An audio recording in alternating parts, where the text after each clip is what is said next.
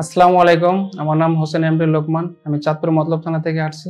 বয়স thirty eight আমার মূলত প্রায় বছর অনেক আগে কোমরে একটু চোট পাইছিলাম পিএলআইডিতে। তো ওখানে প্রায় সিঙ্গাপুরে ট্রিটমেন্ট নিয়েছিলাম। তো মোটামুটি একটু ভালো ছিলাম। পরে লাস্ট দেশে আসছিলাম, ডাক্তার দেখাইছিলাম।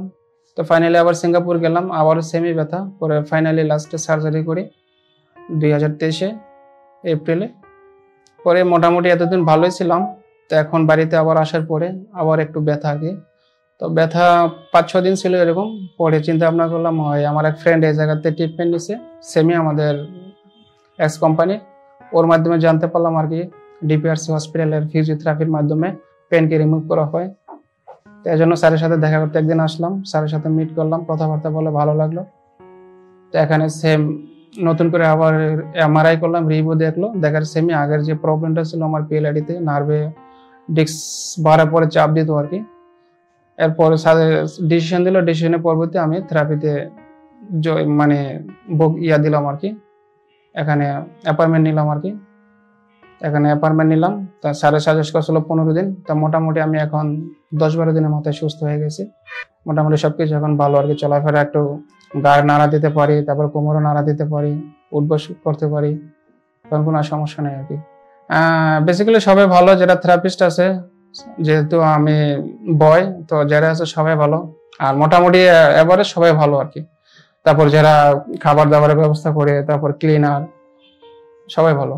আমি বলব, আমি যেহেতু একজন সেম পিএলআইডি সম্পর্কে, যদি আমি একজন রুগী, তো যারাই আছে, বর্তমানে ইয়ং জেনারেশন যারা আছে, সবাই মোটামুটি পিএলআইডিতে প্রবলেম ফেস করে আর কি।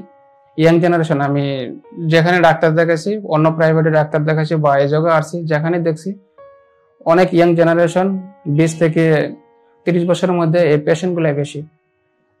তো অনেক সময় দেখা গেছে আমরা সময় মতো কাজ করি না বা অন্য নিয়মে কাজ করি বা যে সঠিক নিয়ম আছে, ওই সঠিক নিয়মগুলো আমরা পালন করি না। তো এই জন্য আমরা, আমি বলব আর কি, যে বর্তমান যে ট্রিটমেন্টটা ফিজিওথেরাপি তো ফিজিওথেরাপির মাধ্যমে যদি আমরা ট্রিটমেন্ট নেই, তা মোটামুটি আমরা খুব ভালো একটা ইয়া ফল পাবো আর ফিউচার লাইফ আমরা ভালো হবে। আর ডক্টর শফিউল্লাহ সম্পর্কে এটাই বলব যেটা এখন অনলাইনের যুগ। ফেসবুকে বা ইউটিউবে সবাই দেখতে পারেন। ওনার অনেক ধরনের টিভি চ্যানেলে লিঙ্ক আছে।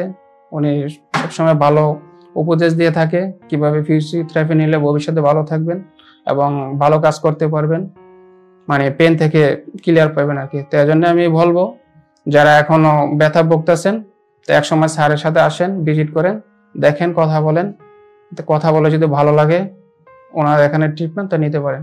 তো সবাই আমার জন্য দোয়া করবেন, আমি যত ভালো থাকি। আবার সেই আগের কাজের জায়গায় যাতে আমি ফিরে যেতে পারি, কাজ করতে পারি, এবং দেশের জন্য কিছু মঙ্গল করতে পারি। আসসালামু আলাইকুম। ডিপিআরস লিমিটেড, আস্থা, বিশ্বাস ও নির্ভরতায় অবিচল।